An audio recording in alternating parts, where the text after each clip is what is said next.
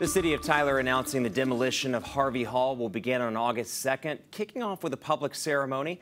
Our Alan Casper has the latest on the construction timeline for the new convention center.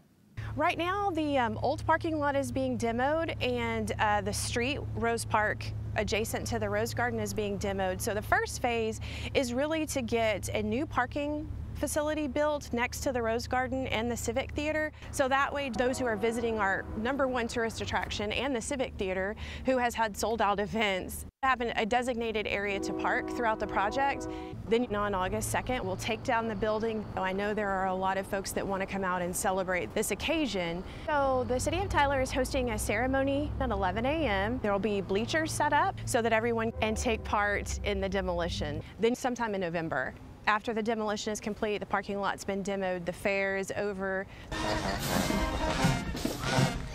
The Rose Festival has been able to do their parade. You'll see a lot of the vertical construction and this parking lot demoed as that second phase. The very last will be the Mayfair rehabilitation and also the three and a half acre park that is on the front of the facility.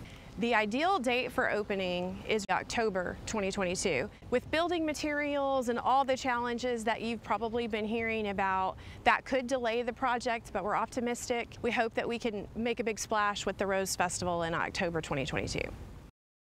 Franklin says the parking will be a problem throughout the construction over the next year, so remember to give yourself a little bit of extra time when you're attending an event in the area.